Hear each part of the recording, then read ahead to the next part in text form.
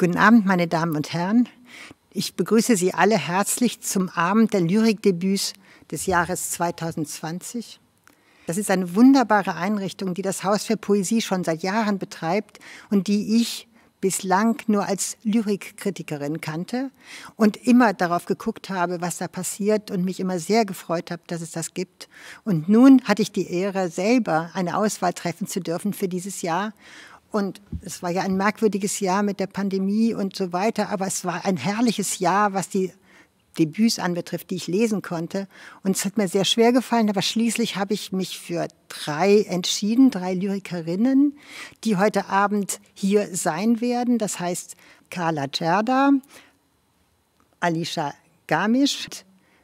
Dasja Wazecha ist leider heute Abend nicht da. Sie wird uns einlesen und einsprechen und wir werden auf diese Weise im Video sie dabei haben. Leider ist sie krank.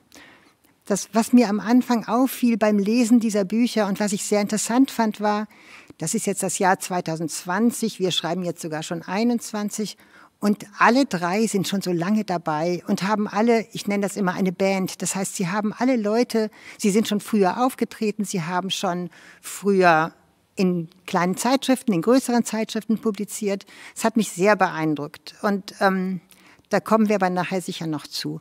Und die nächste Sache, die ich gerne noch vorab sagen würde, bevor wir dann endlich zu den Büchern kommen, ist die Tatsache, dass wir bei dem Ablauf jetzt folgendermaßen vorgehen werden. Wir werden einzeln die Bücher vorstellen. Ich werde einzeln mit Carla Zerda und Alicia sprechen und dann werden wir am Ende ein kleine Fragen auch an Saskia stellen und sie wird auch mitlesen.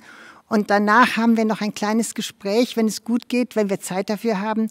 Und zwar sind das ja so merkwürdige Zeiten mit der Pandemie. Und ich würde sehr gerne am Ende von allen wissen, zumindest von den beiden auf dem Podium hier, wie das denn eigentlich für sie gewesen ist, die Pandemie, in der Pandemie das Debüt zu haben und keine Lesungen oder wenig Lesungen oder nur Lesungen online oder sonst was und was das für sie bedeutet hat äh, und ob es trotzdem Resonanz gegeben hat, das machen wir dann am Ende. Also als erstes begrüße ich Carla Zerda. Ähm, ich hatte eine Begründung gegeben und ich habe gedacht, ich lese die am Anfang nochmal, warum ich genau dieses Buch so schön fand. Das fing an mit dem Zitat aus dem Buch Mother Earth Motherboard Flashartig und bedrohlich schön kollagiert Carla Zerda in ihrem Band Loops, der bei Raffbooks erschienen ist, Fragmente aus Mythen, Meeres-, Börsen- und Computerwelten. In einer Storyline verlupen sich Mikrobiome, Roboterlieben, Lithiumgärten und Stachelhäuter. Was auch immer das alles ist. Zur Person. Sie hat Biologie studiert, Ökologie studiert und literarisches Schreiben. Und wenn ich das richtig sehe, und das taucht auch in dem Band auf, spricht sie außer Deutsch auch Englisch, Schwedisch und Spanisch. Warum weiß ich nicht. Hoffe ich, erfahre ich gleich. Unter dem Namen Carla Hegel gewann sie 2019 den Hauptpreis des Open Mic mit einem Text namens Bambi, der in diesem Buch der fünfte Teil ist, wenn ich das richtig sehe. Und Christian Philipps sagte damals zur Einführung, das Subjekt der Texte ist keines mehr. Wir haben es eher mit einem Brain-Computer-Interface zu tun, das sein Auftreten beim Open Mic schon vorausgeplant hat. Carla Hegel lebt in Leipzig und wird sich so leicht nicht wegscrollen lassen. Das stimmt. Mein erster Leseeindruck war ein Staunen über die Gleichzeitigkeit von Bedrohung und Schönheit und davon, wie man das alles wie ein Träumen auch lesen kann. Der Band hat sechs Teile. Alle sind verfasst wie Tagebucheinträge oder Protokolle. Das eine heißt Traumtagebuch, das zweite ist ein Explosionsprotokoll, das dritte sind Meeresbiologinnen unterwegs und dann gibt es ein Gespräch zwischen einem Ich und einem Du und am Ende die, das Ende der Tour. Jeder Teil ist sehr streng geformt und das werden wir auch gleich hören. Eine Stimme aus dem Off, wie es mir schien. Mythen, Naturzerstörung, Computerherrschaft, Marktliberalismus. Alles kommt drin vor. Wir sind sehr nah am Puls der Zeit. Selten, muss ich ehrlich sagen, schafft es ein Debüt gleich am Anfang auf die Lyrikempfehlungen des Jahres. Ich weiß nicht, ob Sie die kennen. Die Lyrikempfehlungen werden herausgegeben vom, äh, von der Deutschen Akademie für Sprache und Dichtung gemeinsam mit dem Lyrikkabinett in München und gemeinsam mit dem Haus für Poesie. Das Interessante daran ist, dass Uliana Wolf diesen Band gleich in ihre Empfehlungen aufgenommen hat und auch so einen schönen Text dazu geschrieben hat, in dem sie davon spricht, dass es eine hellwache Sprachgegenwärtigkeit in diesem Text gibt. Und das finde ich ehrlich gesagt eine ziemlich genaue Beschreibung dessen, was wir gleich hören werden. Aber ich möchte jetzt gerne erst mal wissen von Carla, wie war das? Wie hast du eigentlich angefangen mit dem Schreiben? Es gibt so einen Satz da drin, der heißt, ich öffne alle Tabs gleichzeitig und sage Lyrik, sage Lyrik dazu. Was passiert? Wie hat das angefangen mit dieser Art von Schreiben? Dadurch, dass ich ähm, naturwissenschaftliches Studium hinter mir habe, ähm, habe ich halt einfach immer auch nicht beim Schreiben sehr viel Zeit mit Recherchen und mit ähm, ja, Lesen äh, von Texten, die ich vielleicht äh, nicht gleich verstehe oder so äh, verbracht. Und ich glaube, dass diese Methodik, dass sich einem Thema oder einem, einer Frage zu nähern, glaube ich, dann auch auf mein Schreiben übergegangen ist oder dass ich da irgendwie auch gar keine, gar keine, gar keine Unterscheidung treffen kann, wenn es jetzt halt eine, so eine Art Forschen vielleicht, ja, die, ja, vielleicht so. Also das Schreiben ist auch ein Forschen. Ja, auf jeden Fall, ja. Mhm. Und Bambi war davon der Anfang? Äh, nee, also jetzt ähm, dieser Band, ja, der hat, der Arm, dieser Band hat keinen Anfang. Also ich habe einfach, die Texte sind aus ganz unterschiedlichen Zeiten und Bambi ist vielleicht so, so, vielleicht so, so in der Mitte der ganzen, mhm. der ganzen Produktionsphase entstanden. Und es war auch nie so, dass ich gesagt habe, jetzt schreibe ich einen Band, sondern es waren einfach, waren einfach Texte und die haben sich dann am Ende so gefügt. Gut, dann kommen wir zum Titel. Dann würde ich sehr gerne wissen, woher der Titel Loop kommt, wenn das alles eigentlich Protokolle sind. Ja, der Titel kam tatsächlich, wahrscheinlich ist das letzte, was zu diesem Buch kam, war der Titel. Ähm, ja, ich. Ähm, es war ehrlich gesagt was einfach nur eine ziemlich spontane Idee, die mir kam und die ich einfach, die mich einfach sofort, die mir sofort sehr gut gefallen hat, weil ich davor viel viele Arbeitstitel hatte, die mir klar waren, dass die sofort, dass die halt nur so eine Übergangsklammer sind, einfach für diese Texte. Aber Loops, ja, ich kann dazu keine gute Geschichte erzählen. Es kam mir einfach. Mir geht es ja so beim Lesen, dass ich denke, das passt unheimlich gut. Und zwar, es gibt ja immer wieder diese Wiederholungen in dem Text, das werden wir ja gleich sicher hören. Und die Wiederholungen sorgen ja dafür, dass man sozusagen immer wieder an eine Frage zurückkehrt und immer wieder an der gleichen Frage nochmal anfängt und dabei, so ist es ja auch manchmal im wirklichen Leben, aber zumindest sicher oft im Forscherleben, und dass man dabei immer wieder durch dieses Wieder zurückkehren zu der Sache nochmal eine Vertiefung erfährt. Ist das so mhm. gemeint oder ist es gar nicht so gemeint? Ja, ich glaube, ja, Wiederholung, ich meine, klar, in, in, in Gedichten, Gedichten geht es, äh, also ist Wiederholung einfach so ein wichtiges Strukturelement und nicht nur in Gedichten, einfach generell Wiederholungen, ähm, auch, weiß ich nicht, ähm,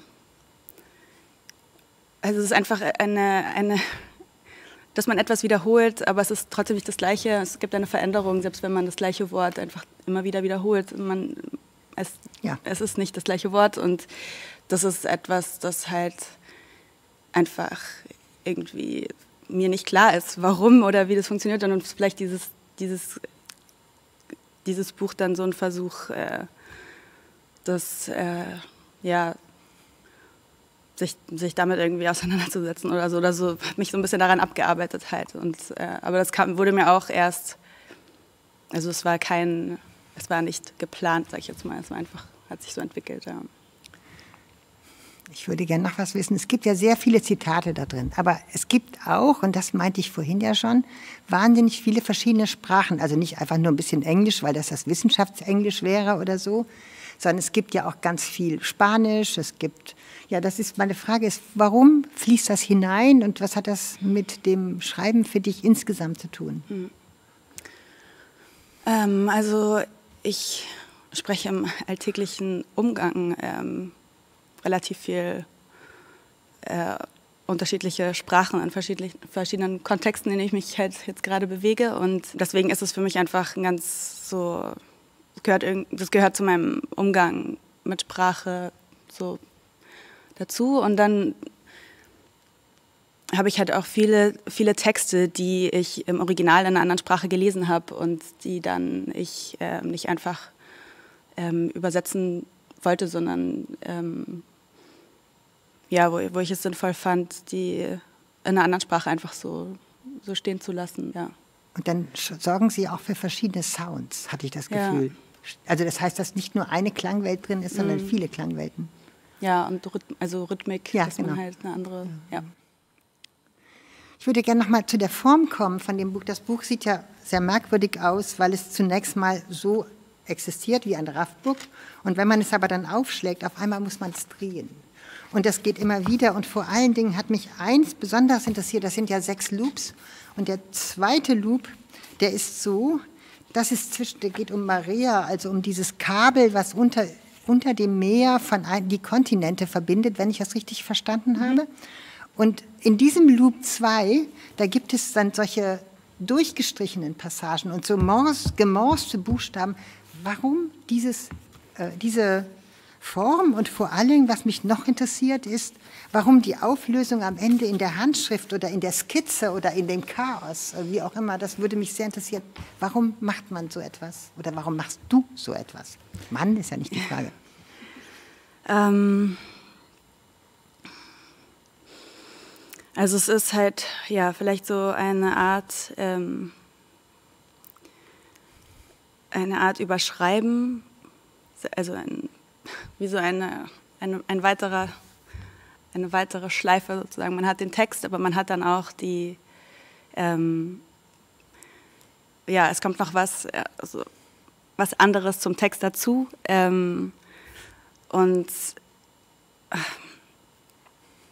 mich laut hat, glaube ich, auch interessiert, dann halt diese Bewegung, dass, dass sich des Verschwindens der Sprache oder des, oder des Vergessens oder des, ähm, ähm, sich irgendwie sich auflösen oder dass ja man einen Text hat und äh, man überarbeitet den so stark und man überkritzelt den äh, und es ist und äh, der Text ähm, verschwindet hinter diesen ganzen dem ganzen was noch was dem hinzugefügt wurde. Und das ist ähm, ja, und gleichzeitig geht es ja in dem Text auch um, die, eben, um dieses Kabel, ähm, wo ich mir auch einfach mit dem Gedanken gespielt habe, was passiert mit diesem Kabel, wenn es irgendwann mal nicht mehr in Benutzung ist und wenn es dann da unten liegt und auch überwuchert wird und ähm, plötzlich für andere Leb Lebewesen eine ganz andere Funktion einnimmt. Ähm, ja, und ich glaube, deswegen habe ich dann ähm, mich für diese weitere Ebene entschieden in den Texten.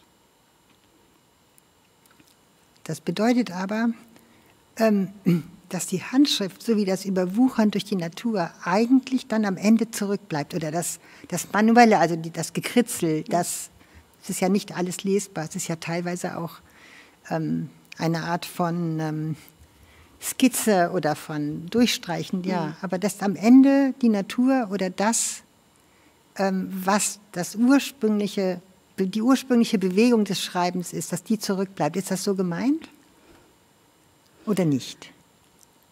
Also es war nicht, es ist jetzt nicht. Okay. Also es ist, ich, mir, gefällt die, mir gefällt diese Lesart, aber es, aber es ist mhm. äh, ja. ja, ich kann es nicht so mhm, ja. fassen. Bevor du jetzt liest, würde ich gerne noch eine Frage stellen. Und zwar, es ist mir aufgefallen, als ich das las, dass das ja alles so ganz miteinander verschachtelt ist, was Christian Philipps das Brain nennt, wo alles verschiedene Dinge miteinander auf einmal zusammenkommen und so weiter. Und es gibt ein berühmtes, also es gibt ein Zitat, was mir immer sehr gut gefallen hat, was hier für mich sehr Anwendung fand von Mandelstamm. Ich muss es jetzt vorlesen, weil, ja, weil ich es natürlich nicht so schön rezitieren kann. Man muss beim Lesen eines Gedichtes springend einen Fluss in seiner ganzen Breite überqueren der voll ist von beweglichen und in verschiedene Richtungen strebenden chinesischen Junken. So entsteht der Sinn poetischer Rede. Und als ich das las, dachte ich, dieses, gerade auch dieses Bild von den widerstrebenden, also in verschiedene Richtungen gehende Junken, dass das sozusagen, dass man etwas erwischt, auch als Leser etwas erwischt und gleichzeitig merkt, es driftet schon wieder weg und ich fange wieder an, etwas Neues zu bauen, also mhm. neuen Sprung zu sehen und gleichzeitig treibt mich, also der, der, das Sprungelement für mich ist wie der Sound. Der mhm. Sound ist so das Sprungelement dabei, mhm. ja, das sodass ich immer weiterspringe. Und ich habe mich gefragt, ob das eigentlich etwas wäre, ähm, was du als für die, diese Art von deiner Dichtung, du schreibst sicher was ganz anderes, ähm, äh, für passend halten würdest ich hatte beim Schreiben von diesen, von diesen Texten, oder ich habe eigentlich fast immer beim Schreiben von Texten die Sorge, in so ein, in so ein, ähm, in so ein, oh, so ein Alles und Nichts zu verfallen oder so. Oder in, also, dass, äh, dass es zu viel wird und Zusammenhänge einfach sich auflösen und, und ähm, ja, und am Ende nichts mehr greifbar ist. Und das, äh, das das kann ich so in dieses Bild oder in, diesen, in dieses Zitat ein bisschen, dieses Gefühl, das kann ich da ein bisschen rauslesen. Dieses, äh, man hat, also dieser, dieser Fluss ist so breit, ja, und ähm, ja, man will aber trotzdem, man will es aber trotzdem versuchen, so. Mhm. Dafür braucht man aber dann auch die Kraft dieses Sounds, ne? Ja. Mhm. Na gut, eigentlich wollte ich noch fragen, ob du eigentlich auch was anderes schreibst als Lyrik oder ob du nur Lyrik schreibst. Eigentlich fast ausschließlich. Also ich mhm. habe eigentlich immer große Lust, mal also szenische Texte zu schreiben. Ich mag szenische Texte sehr gern. Ähm, zu, also auch einfach zu lesen. Ähm, aber ich bin noch nie, äh, also ich lande am Ende immer wieder bei der Lyrik. Also selbst wenn ich sage, ich mhm. schreibe jetzt was anderes und dann, ähm, ja. Gut, dann also möchten wir jetzt den Sprung der über die Dschunken gerne ein bisschen hören. Okay. Und vielen Dank.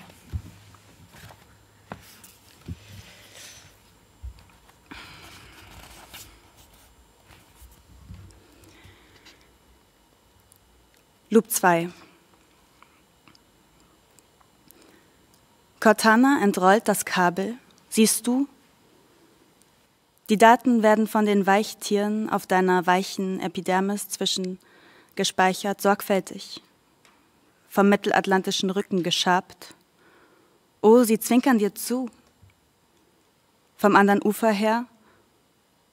Und so beginnt Maria unter den Füßen der Touristinnen an der Playa Rietada Vizcaya. Oder auf der anderen Seite des Atlantiks, je nachdem, wo man steht, beginnt gerade eine neue Schleife Mother Earth, Motherboard.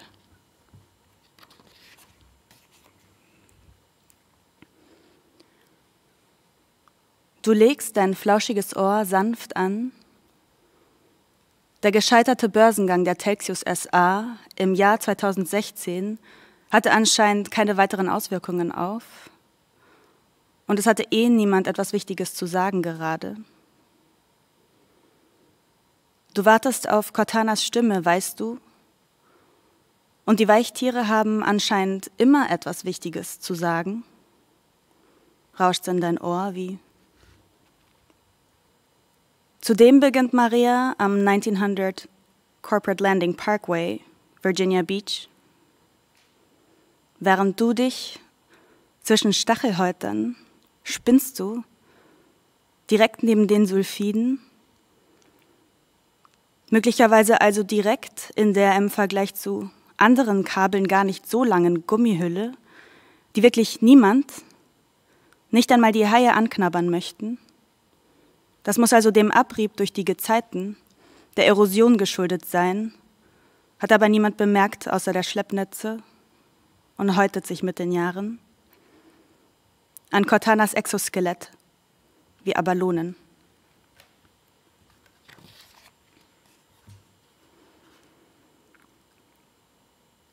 Du lauschst Cortanas Einsatzplan, ganz still am lichtlosen Grund des mittelatlantischen Grabens, wo die Seeigel sich in einigen deiner Augen spiegeln und reimen aus Versehen vielleicht.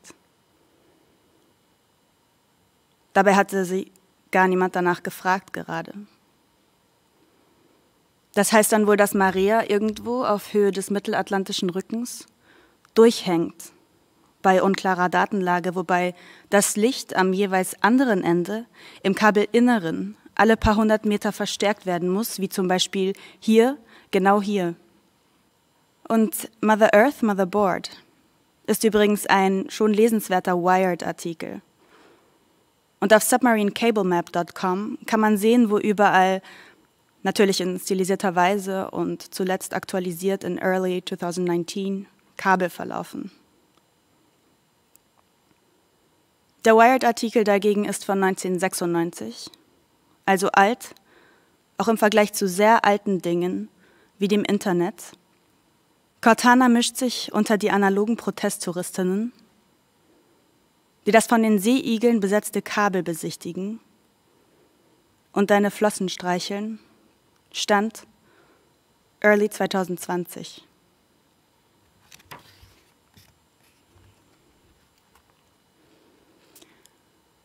Vom Erdbrummen bei 2,9 bis 4,5 Megahertz kriegst du eine Gänsehaut, weil das Licht wellenförmig in deine Zellen north of Freyus schwappt.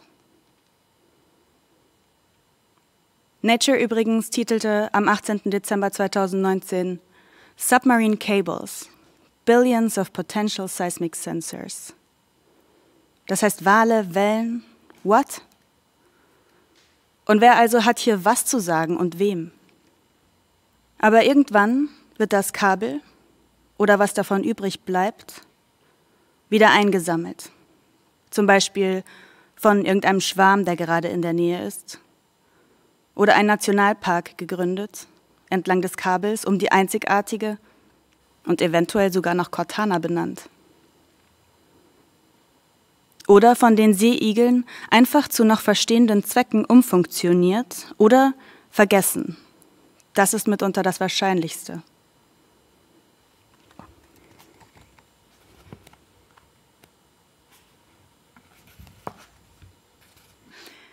Loop 3. Die Meteorologinnen landeten in kontaminierten Geografien. Sie grüßten aus ihren opaken Glocken schrieben flotte Berichte, sie hockten im Gras und schmiegten sich sanft an zwei Anemonen. Dort klafften die Breitengrade, dort erhoben sich nach nur wenigen Klicks die versteinerten Aktien. Oh, Schaffelfunktion, tektonische, oh, Metamorphose, Polypen. So riefen sie. Dann traten sie in die späteren Berge und ernteten präzise Prognosen aus faktischen Hüten. Randomisierte Blüten, defekte Falter, welke Kronen, Kaninchen und so weiter. Dies war ihre Taktik. Du musst jetzt tapfer sein, sagst du, und zoomst in den Sonnenuntergang, weit hinter die lyrischen Halden, ins Gelände. Ist das jetzt schon Fracking? Leicht wie Lithium bist du ein, aus einer entlegenen Babygalaxie geploppt und jetzt sickerst du weit hinter die runzligen Screens. Oh, du fragiler Sommergarten, ranziges Grundwasser. Und das Schelf liegt als Inschrift in deinen Zellen, alles ist besser als diese krassen Riesenlibellen, okay? Du schickst deine aktuelle Position, als könnte uns das jetzt weiterhelfen. Sprichst von Salz, Schiefer, die Schmelze geht ratlos daran vorbei. Die Meteorologinnen versteckten sich zunächst im urbanen Gebüsch und zeigten ungläubig auf einen bestimmten Aktienindex. Als kalbte er bald. Hektisch versteckten sie ihre Berechnungen unter der daraus resultierenden Eiszeit und bohrten liebevoll Löcher in den Farnwald. Tektonische Arbeit, so nannten sie das. Öl. Dabei berührten sie sich aus Versehen in ihren glitzernden Raumanzügen. Graupel verfälschte die Spuren. Es war pures Glück. Most astonishing things happen. So riefen sie. Und folgten den Daten zumindest gedanklich in den Uterus.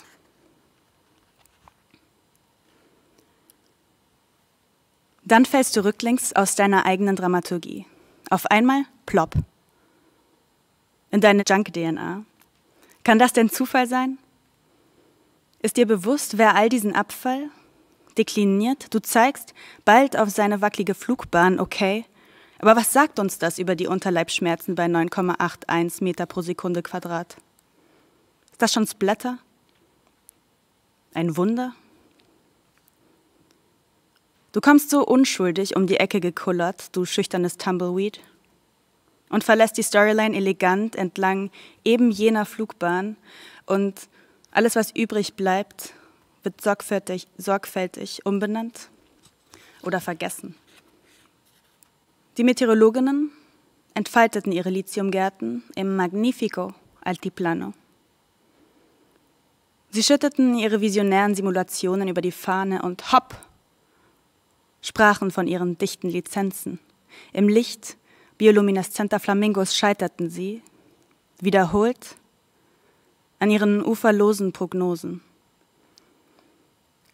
Sie klatschten in die Hände und begannen, den überall herumliegenden Weltraumschrott an den Äquator zu pinnen, als natürliche Grenze. Souvenir, Komplott, Pling. All dies blieb reine Behauptung. Auf diese Weise sortierten sie die Gezeiten.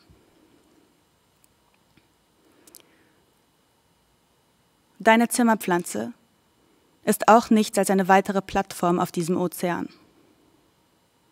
Und spurlos verschwunden.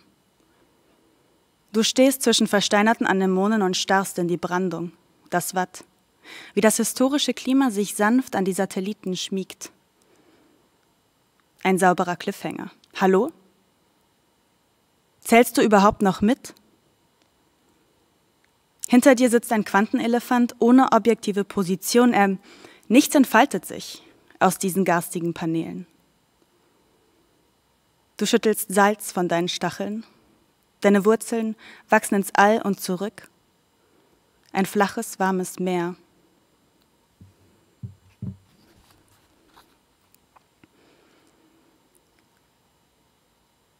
Und kurz vor ihrer übereilten Abreise trafen die Meteorologinnen auf Bambi. Und plötzlich war es, als ob sie die durch den Brandungsrückstrom begrenzte Scholle schon längst verlassen hätten. Also rückwirkend. Huch, riefen die Meteorologinnen. Gomphoterien. Sie wirkten auf einmal sehr verloren, als wären sie noch nie zuvor hier gewesen.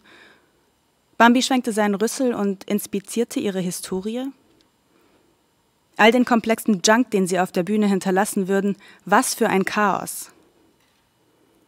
Dann stülpte es eine Kuppel über die Anemonen und rief Evolution.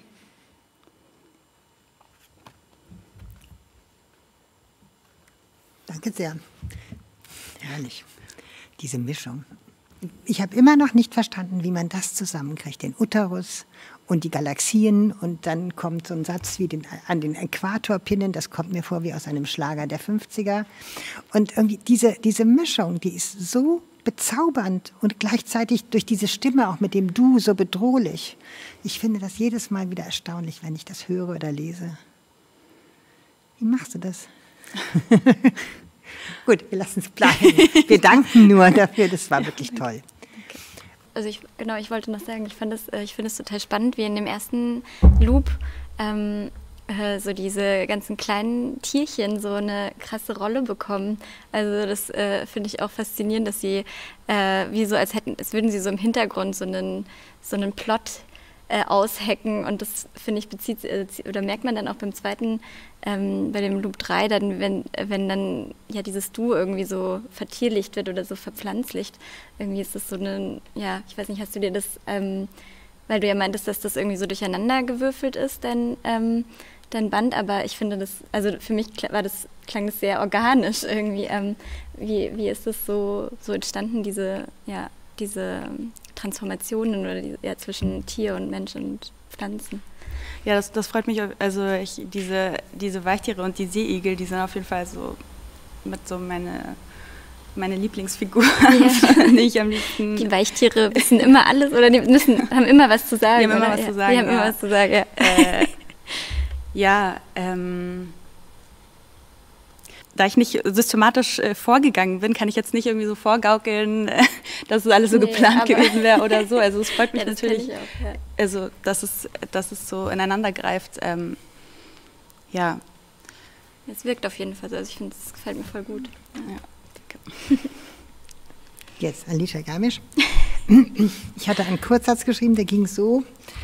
Behutsam und mit großer Leichtigkeit inszeniert Alicia Garmisch in Lustdorf einen Dialog mit einer Oma, der auch ein Dialog mit der eigenen und der Oma-Sprache ist. In kurzen Augenblicken und knappen Versen tun sich Welten auf zwischen Sprachen und Generationen und dazwischen das Schweigen. Wieder kurz zur Person. Äh, du hast in München und in London Germanistik studiert. Du warst auch 2016 nominiert beim Lyrikpreis in München. Im selben Jahr hast du eine, ein feministisches Netzwerk gegründet, das heißt Vespert und das kommt von der Wespe, dein Website heißt es, Entschuldigung, ja, Website, ja, es kommt aber von der Wespe, weil es ist, glaube ich, bayerisch und heißt eben Website und heißt sowas wie Wespenzapplich. Und ich würde gerne nachher auch wissen, was man da tut. Und sie lebt und arbeitet, habe ich gelesen, in Berlin als Lehrerin heute. Gut. Lustdorf ist ein Vorort in Odessa, der damals aber von Leuten aus Württemberg, deutschstämmigen Württembergern besiedelt wurde. Das äh, habe ich jetzt verstanden, das steht da auch drin. Und es ist, es ist ein Kurzprotokoll, wenn man so will, in Anlehnung an äh, Carla, ein Protokoll. Es enthält Kondensate, Verdichtungen einzelner Begegnungen, teils Telefondialoge, teils Beobachtungen. Es werden viele erwartbare Dinge angesprochen, die Lager, die Gräber, die Kohlsuppe natürlich, aber auch, und das hat mich besonders interessiert, die Lust am sich fremdfühlen. Um die geht es irgendwie, glaube ich, sehr zentral da drin. Ich hoffe, wir kommen darauf zurück, was das bedeutet. Darüber hinaus gibt es natürlich die ganz anderen Vorstellungen von Weiblichkeit, Sexualität zwischen der jugendlichen Protagonistin und dieser eine Oma. Es gibt so einen schönen Satz, der heißt, ich bin ein hässlicher Mensch, sagte ich, als mir Brüste wuchsen. Immerhin bist du ein Mensch, sagte eine Oma. Dieser Satz hat mir besonders gut gefallen. Nun habe ich aber viele Fragen. Ich würde gerne erstmal wissen, Lustdorf, bist du jemals dort gewesen? Geht man dorthin? Wann die, ist die Oma hier zurückgekommen oder lebt sie noch dort? Wie ist es? Also ich war selber noch nie da. Ich hatte geplant, letztes Jahr äh, dorthin zu fahren und dann kam äh, Corona dazwischen. Ähm, das ist alles sehr lang her. Also es geht da wirklich um die Zeit ähm, während und vor dem Ersten Weltkrieg und äh, Zweiten Weltkrieg, Entschuldigung.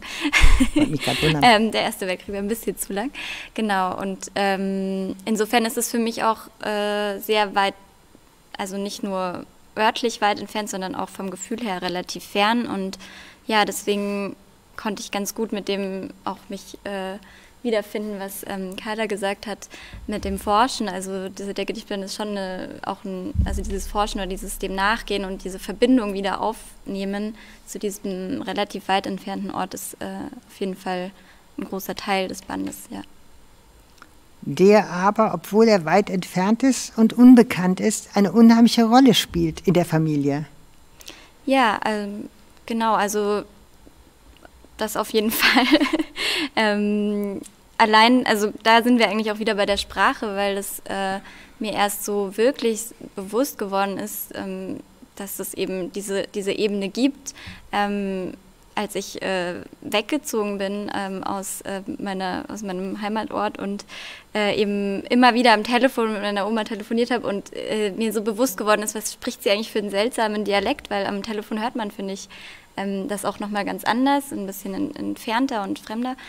Und äh, dann ist mir erst bewusst geworden, dass bei uns so also Russisch gesprochen wurde. Das war mir war selbstverständlich. Also so überhaupt diesen Erkennungsmoment, da ist irgendwie eigentlich eine Geschichte dahinter, hinter diesem Alltag. Ähm, ja, das, äh, das, das heißt, hat dazu geführt, ja. Das heißt, du bist auch russisch aufgewachsen? Ähm, ich bin nicht zweisprachig direkt aufgewachsen. Also mein Russisch ist leider sehr äh, schlecht. Also ich spreche es schon, aber es ist nicht besonders gut. Aber es war einfach, in meiner Familie wurde es gesprochen. Also äh, die ganze mütterliche Seite hat das sehr viel gesprochen, ja. Also so wie es bei Russlanddeutschen oder bei ganz vielen ähm, Menschen, die ähm, äh, in, in migrantischen Familien aufwachsen, so ist, dann ist ja dieses, diese Mischungen aus den Sprachen, das wird ja ganz selbstverständlich immer angewandt. Und ähm, ja, also dass man so zwischen den Sprachen hin und her switcht, sozusagen, ja. So war das bei uns auch. das heißt, die Fremde war immer in der Familie drin. Ja. Obwohl deine Mutter schon hier geboren ist. Nein, die ist äh, nicht hier geboren. die ist ah, okay. auch in, die ist in Russland geboren, ja. Das, das heißt, sind, die sind nicht mit Hitler, mit Hitler hierher gekommen, sondern deutlich nach in den 50ern, 60ern? Doch, also die, äh, also das ist ein bisschen ein problematischer Begriff der Schwarzmeerdeutschen, also weil das auch die Nazis sozusagen ähm, geprägt haben, den Begriff, aber ähm, es gibt auch nicht so wirklich einen anderen. Ähm, deswegen verwende ich ihn. Äh, ja, die wurden dann sozusagen mit, den, mit der Belagerung der Ukraine ähm, nach Deutschland mitgenommen, sozusagen. Also die mussten dann ähm, so halb fliehen, halb ausreisen, ähm, weil äh, eben die, die Rote Armee ja, ja. Besiegt, gesiegt hat. Und dann wurden sie aber in Deutschland wiederum von Stalin zurückgeholt nach Sibirien und dort, äh, genau, ähm, weil sie eben sowjetische Bürger waren. Das heißt, deine Mutter ist mit nach Sibirien? Ähm, nee, die ist dort erst geboren dann. In Sibirien? Ja. Okay, oh, das wusste ich noch gar nicht, das kannte ich noch gar nicht. Ja, ja gut, das macht aber auch, ich habe mich nämlich immer gefragt, ähm, was macht eigentlich die gefrorene Sprache? Also mir kam das so vor, als ob es so Worte gibt oder auch Sprachbilder gibt, die einerseits fremd sind, aber andererseits auch gefroren sind und auch mhm. als solche sozusagen ähm, das heute nochmal ganz anders beleuchten. Also das heute der Jugendlichen, die ja nun wirklich jung ist, also nicht jetzt dein Alter, sondern jünger ist ne, im, im Buch. Ne? Mhm. Ähm, was bedeutet die gefrorene Sprache? Ähm, also einmal, glaube ich, irgendwie drückt es für mich auch aus, wie sehr gefangen wir auch in unserer Sprache sind. Ähm, mhm. Also es hat so eine starre, ähm, ich glaube, man kann das auf verschiedenen Ebenen betrachten. Also wenn man es jetzt auf einer ganz historischen Ebene betrachten will, dann ist es, meine ich, damit schon diese seltsame Sprache, die von Russlanddeutschen gesprochen wird.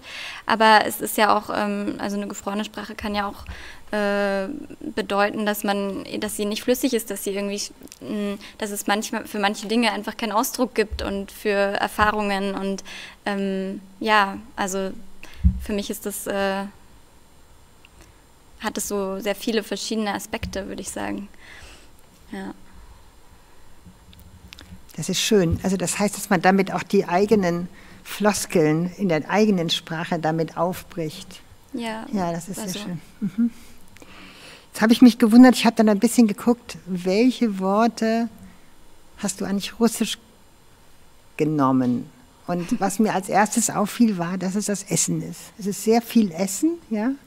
Und es ist natürlich das Lager, also die Erdhöhlen, und, äh, in denen sie gelebt haben. Und das war mir nicht so klar, dass es so ist. Aber ähm, war das jetzt Zufall oder ist dir das aufgefallen oder wolltest du das so oder ist das eben, weil es die familiäre Realität ist? Ja, ich glaube, es war also relativ natürlich. Ähm, natürlich, also es ist jetzt auch also so also spontan vielleicht eher, so wie Carla auch meinte. Ähm, also so wie ich, also relativ vieles sind auch Protokolle im Endeffekt von Gesprächen, mhm. die ich tatsächlich geführt habe. Also ich würde, will auch nochmal betonen, also dass es eben nicht nur diese eine Oma ist und dass es da auf jeden Fall noch ganz viele, viel drumherum. Also ich, ich glaube, es ist nicht nur biografisch, ähm, ja. also die Biografie meiner Oma, die ich damit ähm, umfassen wollte, aber äh, ähm, der Ursprung sind auf jeden Fall die Gespräche, die ich mit ihr geführt habe oder die Idee dazu kam da, daraus. Und ähm, ich fand es sehr spannend, ganz genau, genau hinzuschauen, welche Worte oder wann switcht sie zum Russischen, wann, wann ähm, welche Worte kenne ich, welche, welche sind eben mir mitgegeben worden, obwohl ich jetzt vielleicht nicht ganz zweisprachig geboren, äh, erzogen wurde. Und äh, das, ähm, ja, das irgendwie nochmal so ähm, in eine Struktur zu packen.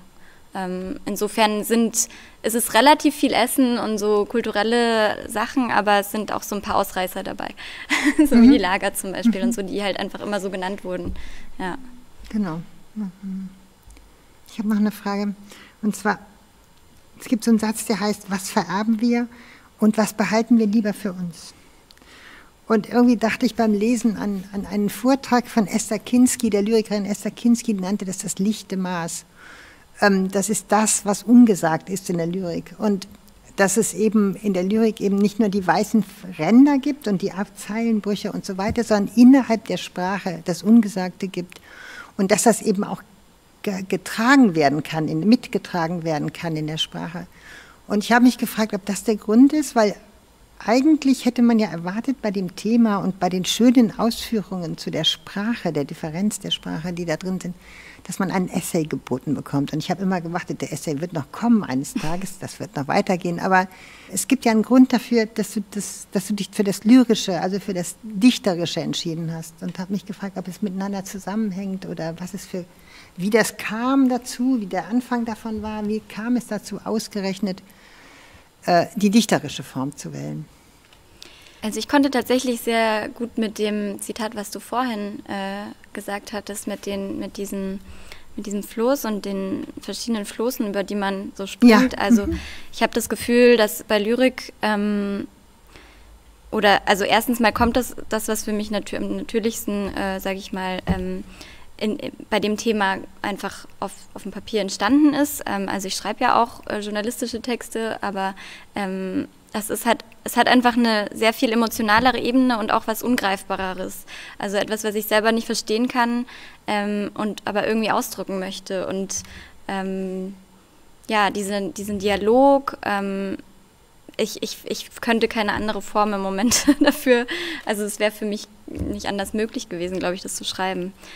Und gleichzeitig kann man natürlich über, über Lyrik ganz andere ähm, äh, leer stellen lassen und man kann aber auch äh, in andere Tiefen hineingehen über, über eine Emotionalität und über einen ähm, Rhythmus und über die Sprache, also mit der Sprache ganz anders arbeiten. Mhm. Ja. Und mit diesem Text warst du auch in München? Wie meinst du? Also, ich, äh, ich, hab, ich, hab, ich habe gelesen, dass du auch in München äh, bei dem Lyrikpreis warst. Ach so, nein, nein, das waren andere Texte. Ah, das gibt es auch noch. Ja. Es gibt noch mehr. Also wir haben noch viel zu erwarten. Gut, ja, sehr ja. schön. Das, sind, das, ist nicht mein erster Text. jetzt würde ich gerne, dass du liest und ähm, dass du auch sagst, ob da aus dem Anfang oder nicht oder von wo. Und ja, also zum, mein, mein Band ist ja sehr, ist ein kleines, also ein Chatbook, also relativ kurzer, ähm, kurzes ähm, Büchlein. Insofern werde ich jetzt einfach so äh, vom Anfang so mir Sachen rauspicken. Ähm, und genau, ich würde dann einfach beginnen. Ja, bitte. Danke. Ich mag die einfach, sagt eine Oma. Herbstzeitlose. Ihr Haar hat eine ähnliche Funktion. Tut, als sei Frühling, Herbst. Tut auf Krokus oder auf, wie heißt das nochmal, Knoblauch aus dem Wald. Kann man essen. Iss mal eine Herbstzeitlose, da liegst du gleich im Krankenhaus. Liegst du, als könntest du immer schweigen, als würde Zeit durch Katheter tropfen, bis du voll bist. Horch mal, wann kommst du zu Besuch? Ich könnte dir Ploff machen oder Ski. Ski oder Ploff? Ploff oder Ski. Odessa war schön, sagt eine Oma aus Ljusdorf. Lust am Pflücken, am Deutschsprechen, am sich fremdfühlen. Was vererben wir und was behalten wir für uns? Knoblauch umhüllten Schwarzmeerfisch, Kambala, Schlaraffisch, Honig in Straßen, Geruch von frischer Farbe an Fensterläden, Grottensteine, Katakomben, versalzene Kartoffeln, Herbstzeitlose in Schützengräben, gedimmte Lüster, schiefe Sonnenuntergänge, sich schämen, weil man vor Lachen ins Höschen gepieselt hat. Briefe einer Oma aus dem Gulag. Geruch von Millionen Tonnen verbranntem Fleisch.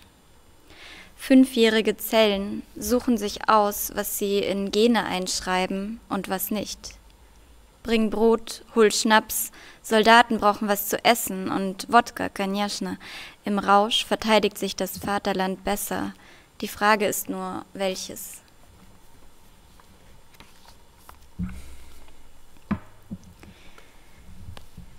Pflanzen blockieren mein Fenster.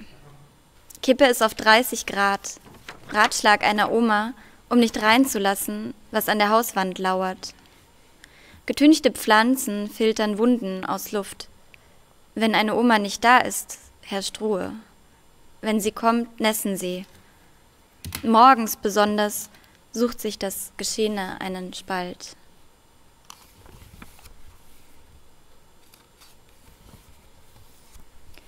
Als mir zum ersten Mal Warzen wuchsen, hatte ich ein Wort gehört, das suppte. Familienkrankheit, sagte eine Oma bei Nacht, verknotete Warzen Generationen, befahl ihnen zu gehen, sang ein Liedchen, band ein Schnürchen, grub es ein. Warze um Warze ging. Empörend, dass mein junger Körper so lange ungenutzt blieb. Eine Oma sieht sich in Baracken sitzen. Besser als dem Ljanki, sagt sie, in Erdhütten flirtet sich's schlecht. Sibirischer Sommer, Novosibirsk, verrutscht ihr Schulterblatt, warten auf den Mann. Haare zum Strauch, Wut als Mangelware, Ducken im Überhang. Oi, wenn ich nicht immer so erschwert gewesen wäre, nicht wie du, Vögelchen. Im Garten einer Oma, im Deutschen, ist Sommer vorbei, als wäre er nie gewesen. Nimmt der Himmel die Farbe der Markise an. Mein Bauch ist voll mit als Kartoffeln getarnten Ratschlägen. Im Hintergrund schimpft ihr Mann das Satellitenfernsehen an. Empörend jung war mein Haar, sagt eine Oma. Eigenwillig durfte es nicht geben. Gene hetzten sich, lernten Rücken zu beugen. Mach die Haare schön hoch, dann wächst du nach oben.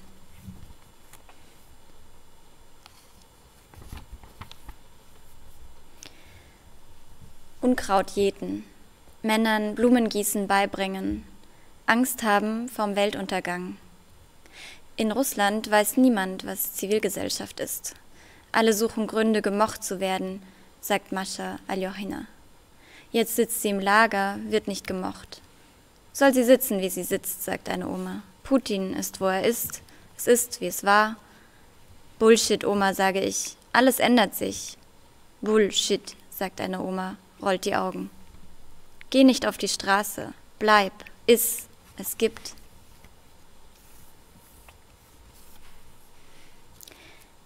Hast du gar nichts verstanden? fragt eine Oma. Wir sprangen in den Gräbern wie auf Trampolinen, genossen nichts außer Megaphonen und Fabrikarbeiten, das Aufbauen, das Große.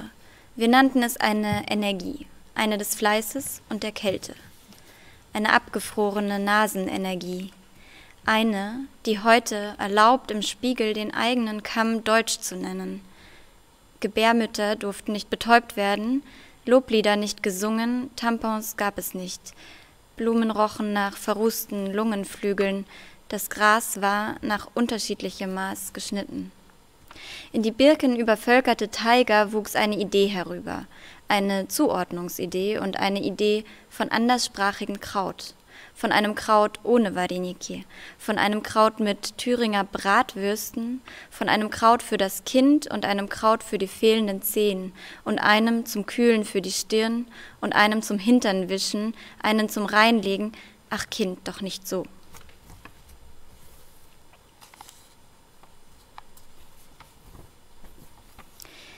Wenn eine Oma Piroggen formt, formen sich Piraschki in Worte in Schlangen über den Tisch, wie Trambahnlinien am Krasny Prospekt, wie Buntglas im U-Bahnhof.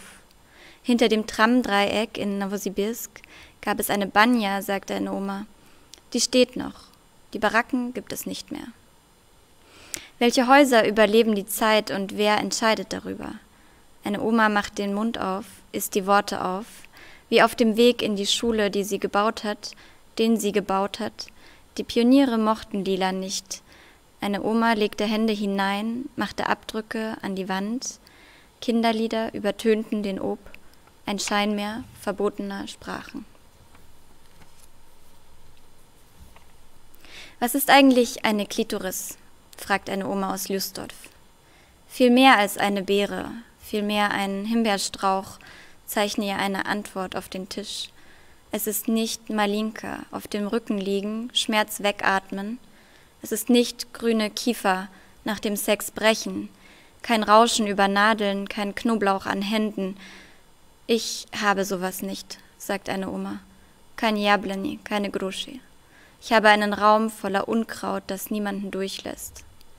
Nie werde ich herausfinden, warum Menschen sich küssen. Ist das nicht das Essen zwischen den Zähnen?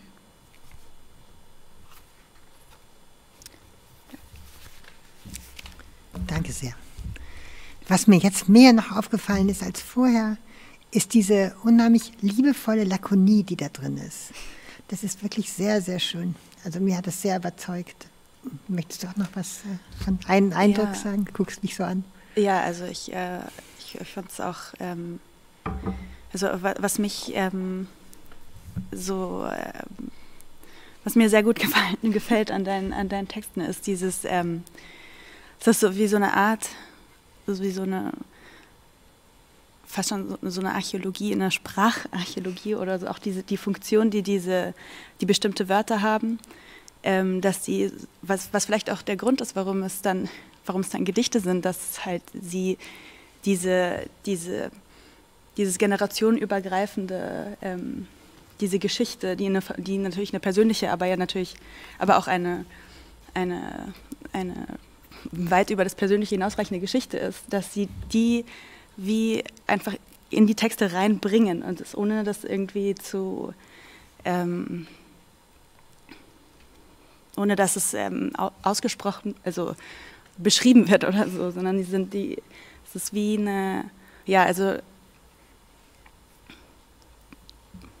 das Verhältnis zur Zeitlichkeit auch, das dadurch entsteht, also dass es einfach die verschiedenen Schichten gibt, die verschiedenen Generationen, die auch auf diese Geschichte unterschiedlich blicken, anders erlebt haben, also erlebt haben oder nicht erlebt haben oder halt als Geschichte erlebt haben. Also das, das ist was, das ich auch dann, wo ich auch ähm, auf eine ganz andere Weise auch mein eigen, auch mein, meine Herangehensweise oder auch mein Interesse am Schreiben irgendwie wiedergesehen habe. Deswegen, das fand ich echt, ähm, das fand ich richtig schön. Ja, schön. Mhm, stimmt. Danke. Jetzt kommen wir zur dritten, die leider nicht da ist, die gleich aber lesen wird. Saskia Warzecher. Ich habe wieder einen Kurztext geschrieben. Mein schon der Titel Approximanten ruft die Frage in den Text, welche Rolle Computerlinguistik spielt bei dem Versuch, sich dem Verhältnis zwischen unserer Sprache und der dauernd sich veränderten Gegenwart zu nähern. Saskia Warzecher gelingt eine klangstarke, klangstarke Sprachexpedition. Kurz etwas zu ihr, um sie kurz vorzustellen. Sie studierte Computerlinguistik in Potsdam, Sprachkunst in Wien, literarisches Schreiben in Leipzig. Sie war 2017 Open Mic Finalistin und gewann den Münchner Lyrikpreis. Sie hat zwei Gedichtanthologien mit herausgegeben, ist Projektleiterin hier im Haus für Poesie von dem Open Mic und ist Mitherausgeberin der Lyrikzeitschrift Transistor, die seit einer gewissen Zeit erscheint und herrliche kleine Bändchen hervorbringt. Beim Lesen fällt auf, der Texte fällt auf, es gibt eine großartige Spannung darin. Auf der einen Seite, so sieht das Büchlein aus, auf der einen Seite arbeitet sie mit traditionellen lyrischen Schreibweisen, wie Binnenreimen, Rhythmus, Alliteration und so weiter, und treibt diese in Neuländer hinein. Auf der anderen Seite finden sich viele unterschiedliche Sprechweisen und man stößt immer wieder auf die Verführung von Neukombinationen, wie etwa die klangliche Nähe von Tanklastern und Klangklastern. In einer Besprechung hieß es, das Wechselspiel von Norm und Fachsprache zeige sich bei der Wortwahl. Gegensätze und Paare verstärkten die Spannung in den aufgefächerten Texten. Das werden wir dann gleich hören. Kurz etwas zur Komposition, weil sie jetzt selber nicht da ist, sage ich das. Der Band Approximanten ist in drei Teile gegliedert. Approximanten, Prüfautomat und Diphthonge, wobei Approximanten sich der Annäherung an Gegenständliches widmen, Prüfautomat stärker auf maschinelle Erfassungsarten fokussiert und Diphthonge auf das menschliche Miteinander abzielt. Dazwischen gibt es immer Intersects, wie sie das nennt. Das sind kleine Brückenstücke. Zu Recht gilt sie, wie jemand schrieb neulich, als eine Traumreisende in Wortfeldern der Wissenschaft. Wir haben ausgemacht, dass ich ihr zwei Fragen stellen darf, bevor sie liest. Die erste Frage lautet, Sie haben vielen Menschen im Buch gedankt. Sie geben eine Zeitschrift heraus und Sie sind Projektleiterin von Open Mic. Welche Rolle spielt der Austausch für Sie beim Schreiben? Und die zweite Frage, Sie haben Computerlinguistik studiert. Computerlinguistik versucht, so hat man mir erklärt, das menschliche Sprechen auf etwas mathematisch Begreifbares hin abzubilden. Den Maschinen wird dabei nicht nur das Verstehen, sondern sogar das Produzieren von Sprache beigebracht. Hat die Beschäftigung mit diesem Wissensgebiet Einfluss auf Ihr Schreiben? Hallo, ich bin Saskia Watzecher. Ich möchte mich erstmal ganz herzlich bedanken für die Einladung und finde es natürlich ähm, total schade, dass ich nicht vor Ort sein kann. Freue mich aber, dass ich zumindest in diesem Rahmen teilnehmen kann. Ähm, genau, und möchte gerne erstmal Ihre beiden Fragen beantworten. Also zur ersten, wie wichtig mir der Austausch ist. Ähm, also ich glaube, der Austausch ist nicht nur für mein Schreiben wichtig. Ähm, ich glaube, mit ganz vielen Menschen, denen ich in diesem Buch äh, gedankt habe, ähm, hinten habe ich nicht mal über meine Lyrik gesprochen oder generell über, über Lyrik oder Literatur. Aber ähm, vielleicht würde das auch jeder von sich sagen, aber ich glaube, dass der Austausch wichtig ist, um überhaupt auf, auf Gedanken zu kommen. Ähm, genau, deswegen hoffe ich, dass, dass ich den nicht verliere. Und ja, es ist mir natürlich sehr, sehr wichtig. Ähm, zu der Fra zweiten Frage, welchen Einfluss die Beschäftigung mit der Computerlinguistik auf mich und mein Schreiben hat. Ähm, also ich glaube, wenn man sich damit auseinandersetzt, was das Automatisierbare an Sprache ist, ähm, oder dadurch, dass ich mich damit auseinandergesetzt habe, ähm, dadurch konnte ich die Differenz leichter sehen zu dem Sprechen oder der Sprache, die von einem Subjekt kommt, das eben ähm, verletzlich ist, das eben etwas wünschen kann, das, ähm, das, das nicht nur spricht, ähm, das, das eben anders spricht, als Maschinen sprechen können. Und darum geht es mir auch stark in Approximanten. Also was, wie man sich vorwagen kann mit der Sprache, wo man ähm, persönlich spricht oder es versucht und ähm, wo man Ausflüchte findet und welches Sprechen das dann ist. Okay, ich äh, lese jetzt zehn Gedichte.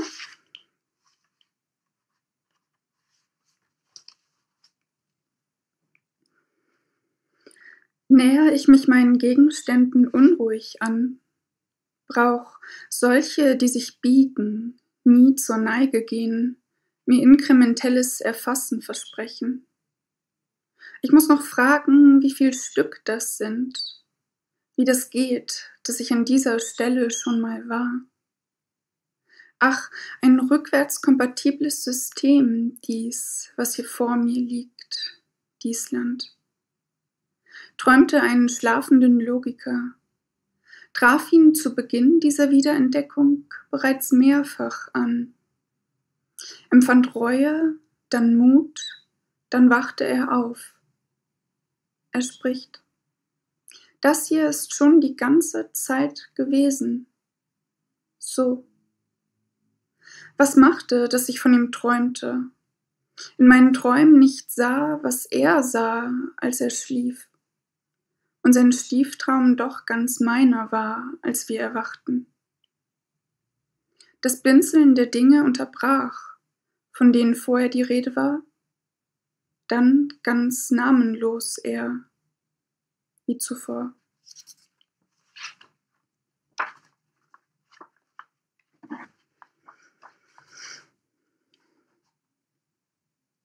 Auf welchem Level treffen wir uns so ganz entzerrt? Du Koryphäe, Kannkind. Manöver sag meinen Namen im Namenmuseum, so kollaborativ entrückt. Sag, Rahmenwidersacher, wieso hast du so übergroße Gliazellen? Veränderst taktische Bewegungen. Unvollständige Besatzung, als fädelte mir einer Sinn bei. Doch wenn etwas geschliffen wird, was fällt dann ab? Äußerst abschätzig die Frage, wieso ist Ihre Antwort das Verhängnis jeder Frage?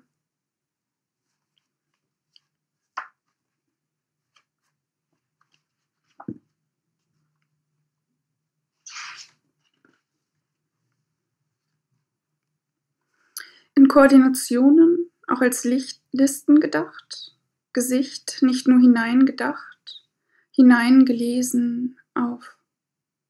Eines sehen wollen, das fällt, im Fallen und Fallen begriffen ist, im Fall oder Begreifen geschont. sehe einen auffallend großen Zwischenraum und dehne ihn noch. Klaffe Falz und weiteres Gelenk hinein, schachtele an kaputtem Gelenk, mit Löchern versehen, Gunst. Verstehe Stabilität als verkleinerte Dynamik. Die Trostfalte architektonisch daneben, architektonisch gedacht, noch zu zeichnen hinein, mit Weiche. Mir gefällt das viele Gerümpel auf dem Dach, ebnete eben noch alle Stoßfalten, verstecke nun im Falz Morphporträts. Ich kann mir jeden Menschen nackt vorstellen und jeden Menschen tot.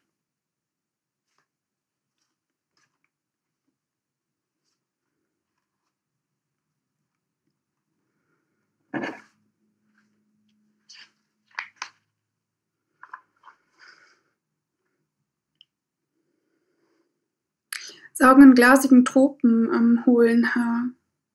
Ich lackier Haken im Qualm, kalibriere Substanz. Zugänge zu Umgehungsstraßen. Schildere, du bist ein Ort für mich, nicht die Orte. Du, Trakt, sagst durch. Ich wiederhole dich, sag, sag doch mal A. Behaupten zwischen Klängen, die länger im Raum hingen, uns und Kommunikation. Diese Formel ist nicht stilisiert. Kein Schlaf im Auge, Aeronautik. Wir lachen lauter, weil Musik ist, legen die Zungen so, als würden wir, und sagen ein Hoch auf die fleischige Wunde im Mund. Und wenn du Trakt sagst, Kupferstich, Geräusche, Kupferstiche, Trakt, und ich, weil ich mich noch wiederholen kann, Schallwellenverebbung. Wieso öffnest du die Hände nicht?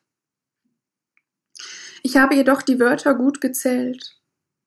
Wer sich mehr wünscht, dem sei Einhalt geboten. Von Closed World Assumptions kann die Rede hier nicht sein.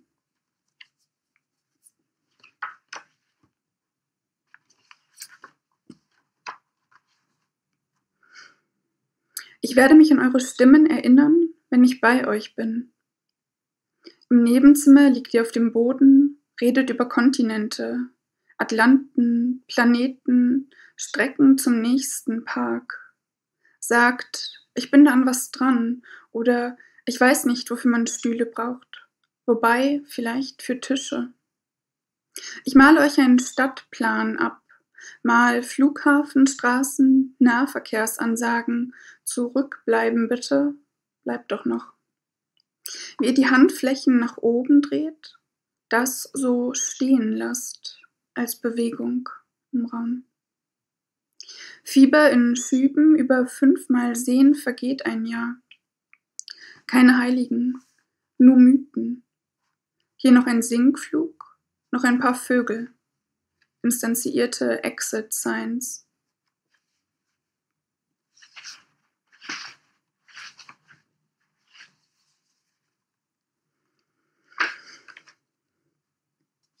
Und dass morgen übrigens überall sei, zunehmend sich schwach machen, eine Müdigkeit, die fürs Wachbleiben wollen einnimmt, lauschen. Von ihrem Untergang flüstern die Fenster recht laut zu Tagen. Karenzzeit, Zeit, die einen sich einrichten lässt, hinter leicht geöffneten Bahnstoff.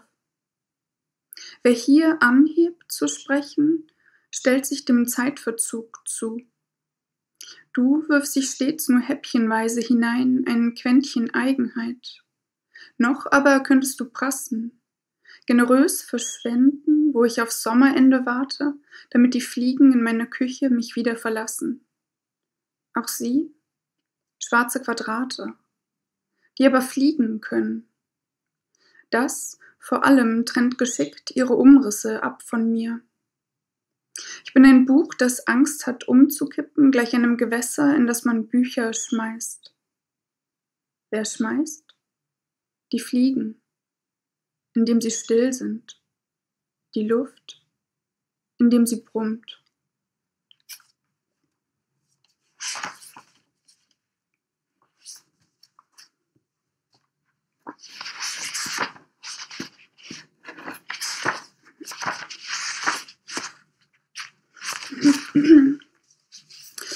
Intersekt 1, die Faltungen im Space Shade weichen nicht.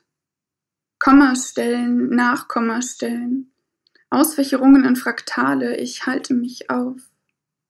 Kaue auf zähem Glauben herum. Dieser inflationäre Gebrauch von Genauigkeit scheut auch den negativen Zusammenhang nicht. Trotzt. Wer bestimmte das Maß für die Feinheit von Fäden? Lass uns nach Paris, sagst du, da liegt ein Meter. Minutiöse Berichte, Überschneidungen im Origami-Licht, in elektrischer Isolation gekippte Bilder von Gebaren.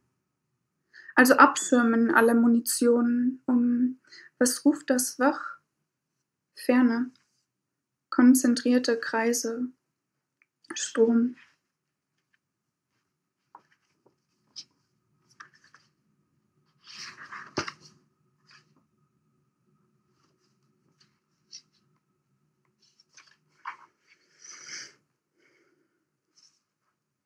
Sieh, damit ich von dir sprechen kann, von uneingeschränkten Beschreibungen, von Anschauungsmaterial, in das ich verpacke, was abzulesen sei, abzuziehen, was abzulesen, hartnäckig die Indizierung.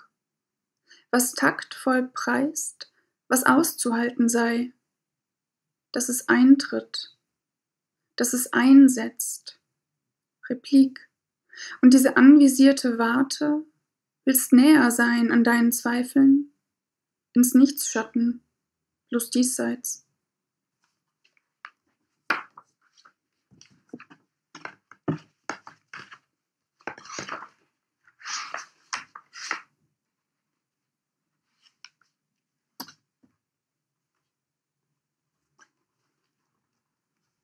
Und ein letztes für jetzt.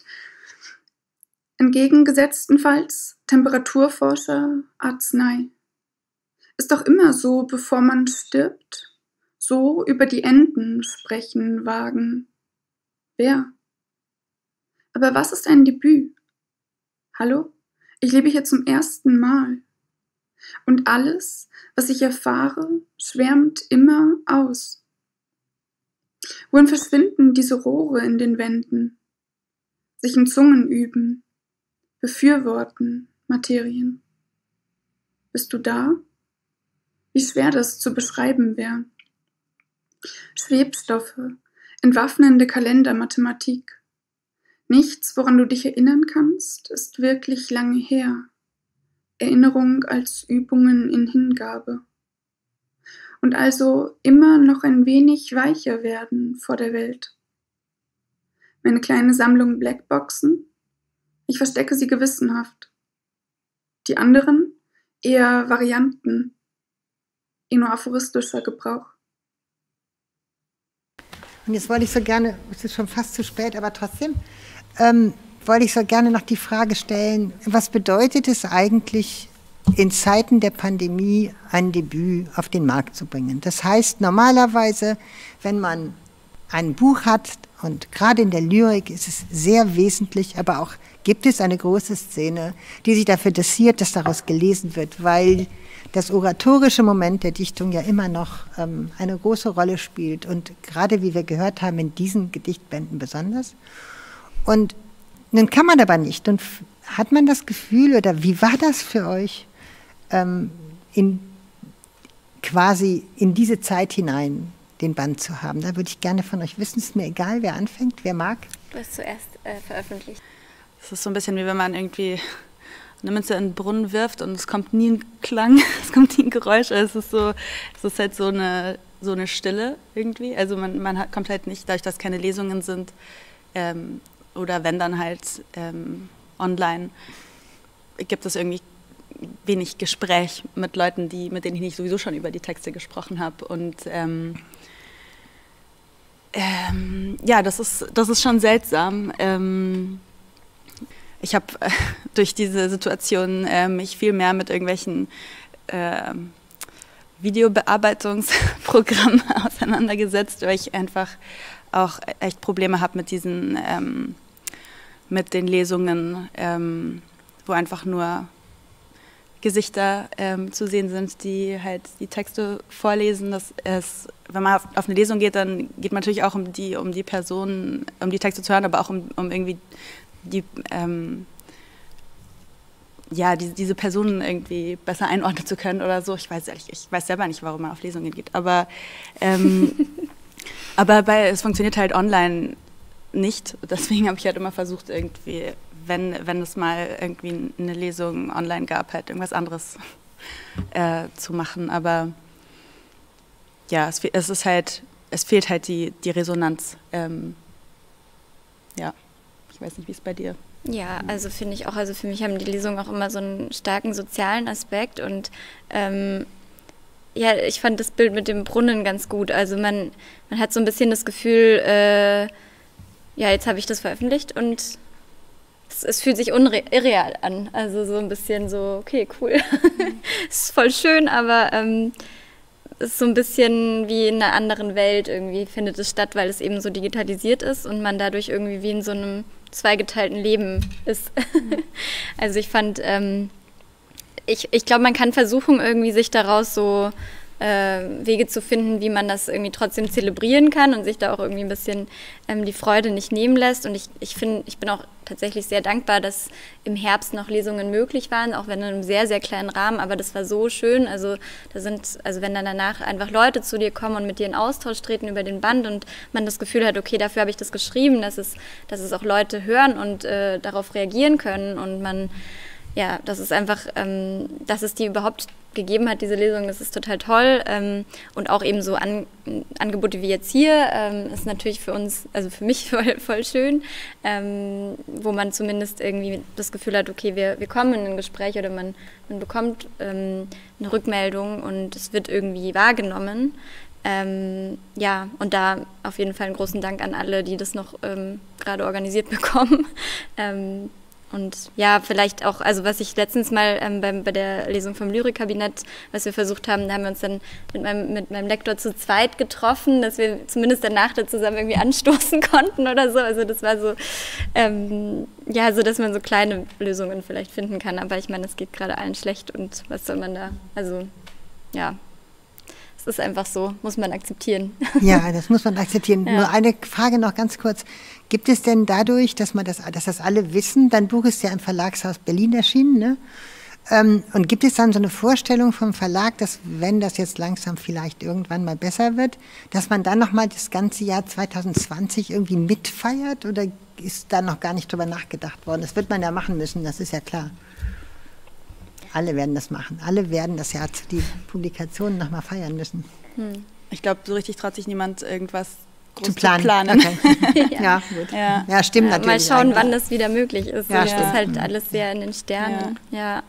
Hast du eigentlich auch ähm, während der, du hast bestimmt auch während der Pandemiezeit auch dann geschrieben viel. Ja, Text, das war oder? natürlich ja. wiederum irgendwie fand ich gar nicht so, äh, so schlecht. Also man hat sich schon sehr stark da so reinbegeben, finde ich, in diesen Prozess, nachdem auch so wenig anderes möglich war. Ähm, ja, fand ich das schon auch eine wahnsinnig intensive Zeit, ähm, mhm. ähm, dann Debüt zu schreiben oder dann im ah. Debüt zu arbeiten. Ne? Also das 2020.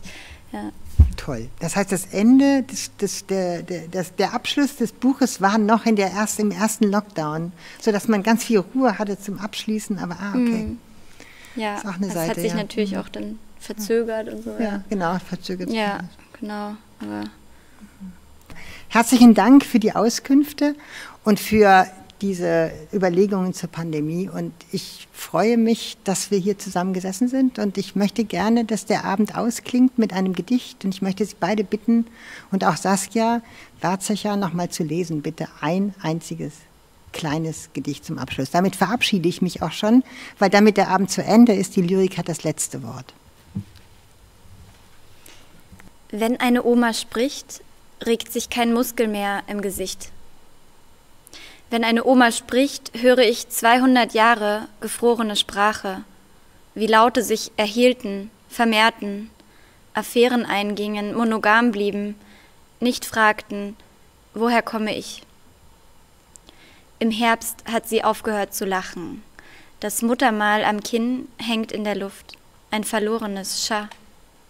Schwäbisches Schweizerdeutsch, sibirisches Schwäbisch, estnisches Russisch, Schwitzer Sibirisch. Ich höre eine Tudodalmia von Vokalen, ein Kämpfen auf Rädern. Hinter den Alkoholikervorhängen des Operwohnzimmers versteckt eine Oma, was sich nicht sagen ließ. Begehbare Bereiche trennen Stufen ab. Ohnmächtige Beine, ohnmächtige Nächte. Im Fernseher werden die Enkel gewickelt, machen den ersten Schritt. Bekomme ich auch Lob für den letzten Schritt, das letzte Wort? Entschwebt mit dem Treppenlift. Danke. Danke. Zuerst ist da ein Körper, ein Spalt im Gedicht. Hier also stand ich zerzaust am Strand im Gedicht und hatte doch gelesen das. Wie kann das sein, dass dieses Pretty Toy unter meinen Füßen in Echtzeit auf Ereignisse reagiert? Wie der Sturz in den Körper, der Sturz an den Anfang. Ist eine Form von Bad Lip Reading vielleicht, dass die Dramatis Personae ohne Backup verloren gehen, in Life-Size abhanden kommen, transparent werden. Wow. Ich glaube, das ist das zweite Ende der Tour und der mittlere Vers gleichzeitig. Was eine Schleife?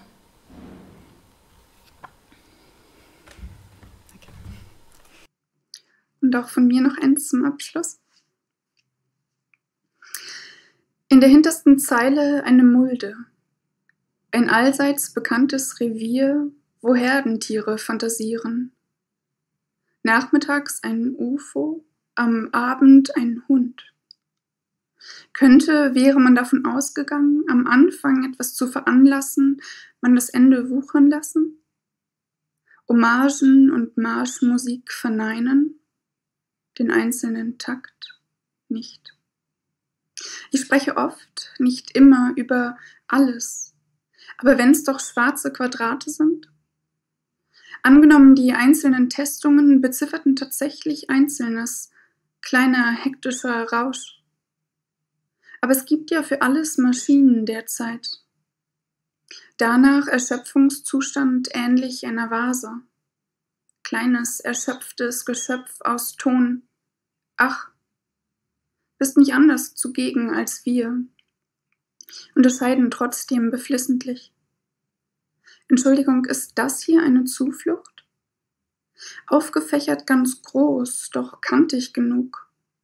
Liebäugeln mit Cremes, Plüsch, Wassermalfarben, winzigen Pflanzen in meinem Glas. Nachts sucht das Muldentier wie Sandbeispiele Ruhe, eine Schummerbude, die hauptsächlich versickern lässt. Dankeschön.